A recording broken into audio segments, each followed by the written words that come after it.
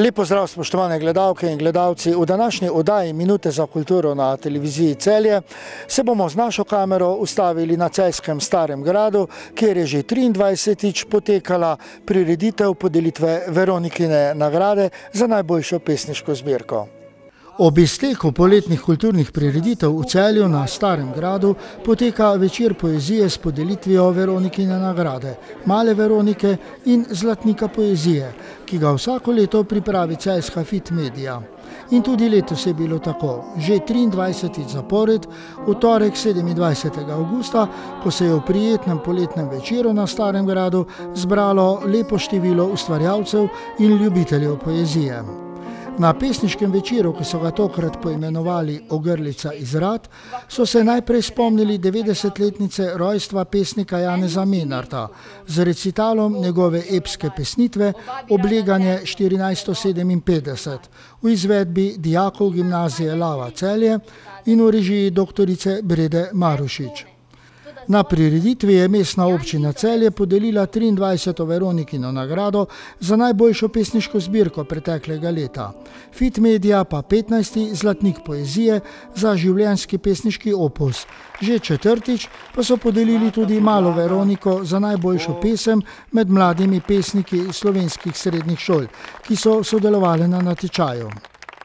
Strokovna žirija v sestavi dr. Igor Divjak, predsednik ter članici Maja Šučur, novinarka in kritičarka in Petra Kolmanič je izmed pet nominirancev za laureata poezije za leto 2019 izbrala Alenko Jovanovski za njeno pesniško zbirko 1080 stopinj, kateri je Veronikino nagrado izročil župan mestne občine Celje Bojan Šrot. Zbirko Alenke Jovanovski 1080 stopinj je komisija, kot je med drugim v razložitvi zapisala, nagradila, ker z raznoliko in večplastno govorico najbolj neposredno izmed vseh nagovarja današnjega malega človeka, ki se je v marsikaterem pogledu znašel v brezizhodnem položaju. Med nominiranci pa so bili še Esad Babič s pesniško zbirko Odrezani od neba, Nina Dragičevič z zbirko Ljubav reče greva ter Anja Golob z zbirko Da ne, da ne bo prišla. In kaj ta prestižna nagrada pove in pomeni avtorici? Pove, ne vem, kaj mi pove. Uh, pomeni mi pa možnost, da sem lahko svoje pesmi danes javno dala v prostor še enkrat, ker pesem ni samo nekaj, kar se bere, pesem je dogodek, ki gre med ljudi. Seveda pa nas je tudi zanimalo, če izpod njenega peresa že nastaja kaj novega. Ja, to se pač nenehno piše naprej. S predsednikom žirije za Veronikino nagrado, dr. Igorjem Divjakom, smo se pogovarjali če je bila odločitev težka, z ozirom na to, da je komisija morala pregledati več kot 250 pesniških zbirk, koliko jih je nastalo od junija 2018 do junija 2019 v Sloveniji. Kot sem rekel, že prej delo v teh komisijah ni težko, je prijetno, zato ker je pesniška produkcija dobra in tudi v bistvu te, ki smo v komisijah, spremljamo že eh, skozi celo leto. Ne. Tako da so se ta imena nekako kar sama ponudila, seveda smo pregledali tudi eh, druge avtore teh, eh, ne vem, letne produkcije okoli 200, ne, samo tistih res dobrih imen pa ni to. Ne, so res, tako smo jih izbrali, so letos tako rekoč sama uskočila, uh, uh, kar izstopa je to, ne, da je letos so štiri nominiranke in en nominiranec, ampak to je odraz realnega stanja, se že nekaj let opažamo literarni kritiki, da v slovenski literarni produkciji eh, so celo med mlajšimi generacijami avtorice celo močnejše od avtorjev. Eh, eh, seveda, to pa tam je tudi še izjemno močen avtor, ampak recimo tudi Anja Golob je dobila dve Jenkove nagradi letošnja eh, nagrajenka Alenka Jovanovski je prav tako izvrstna, ne, še druge prihajajo in dejansko je bila vržena rokavica moškim in ne se izkažejo.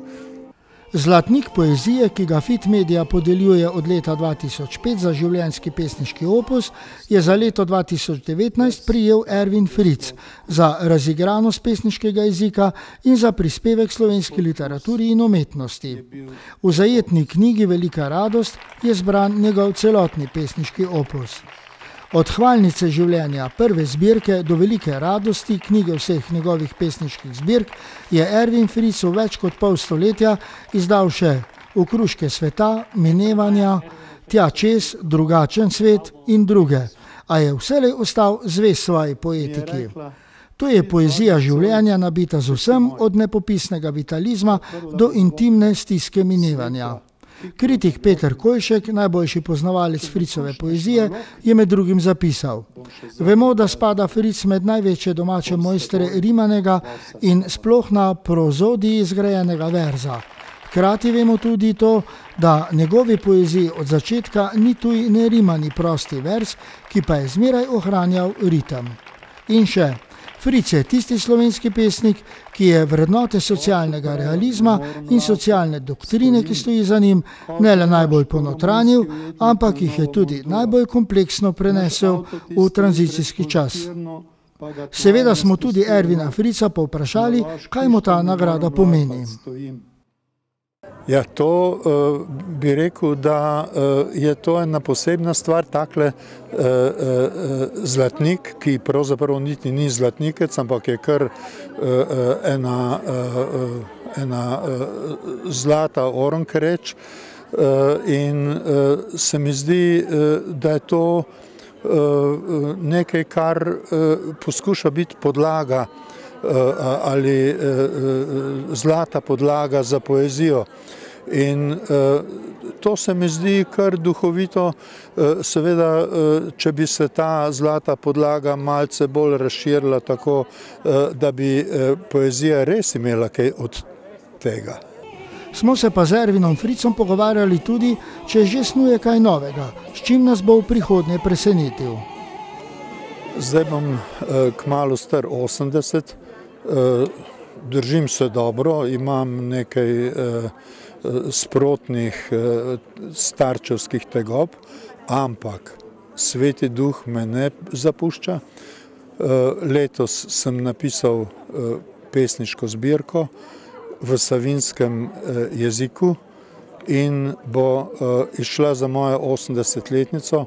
Naslov je Savinčanke, Hmevske princese in bo išla v Savinski dolini in bo na razpolago mojim sodeželanom v Preboldu, Žalcu in v drugih občinah. Tako da to me, me, me še vedno drži.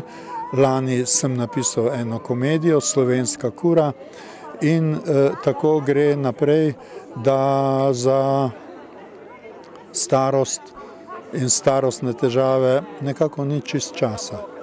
Četrto leto zapored pa Fit Media podeljuje tudi nagrado Male Veronika, ki je namenjena vzpodbujanju pesniške ustvarjalnosti mladih na slovenskih srednjih šolah.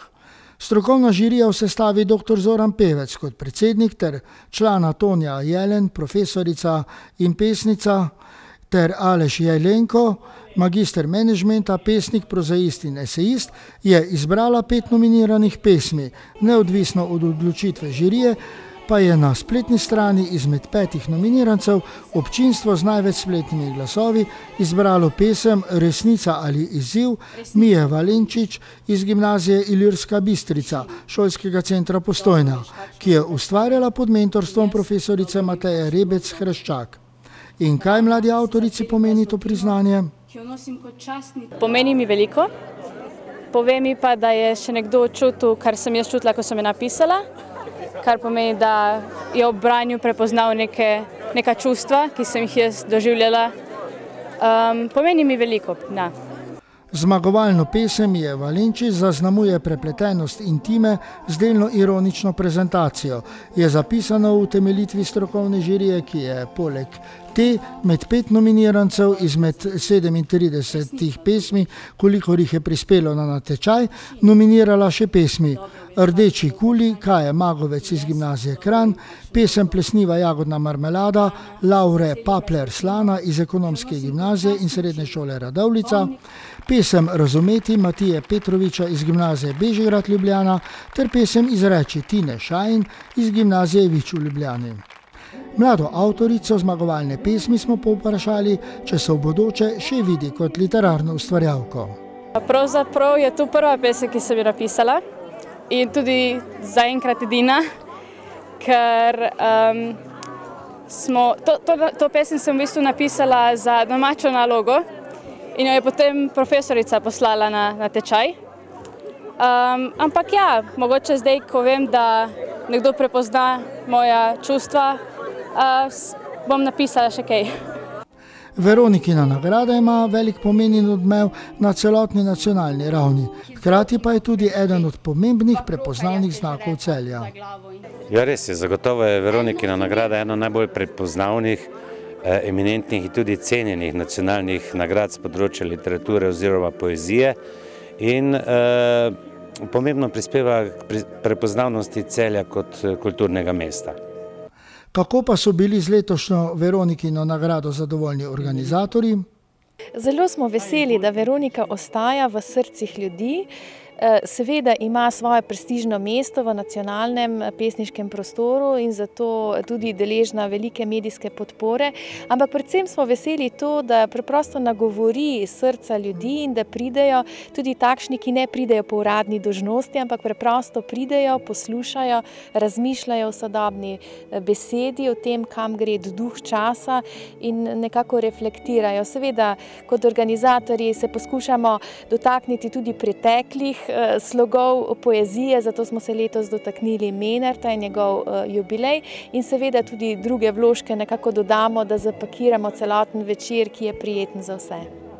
Za glasbeno popestritev tokratnega Veronikinega večera na Celskem starem gradu pa je svojim vokalom prisotna navduševala Nuška Drašček.